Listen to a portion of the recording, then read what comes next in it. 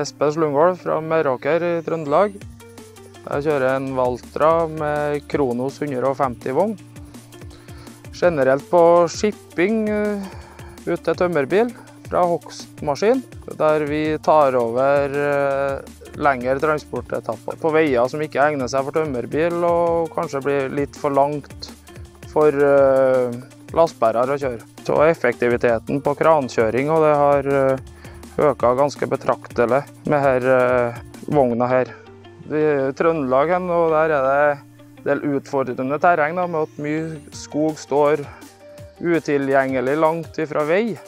Så det er der vi kommer inn i bildet stort sett små lundingsplasser vi tar av. og Det er viktig for hogstlaget at de får lagt ifra seg tømmeret og jeg får frakta det videre. Det er god deletilgang og service det er absolutt viktig for min del.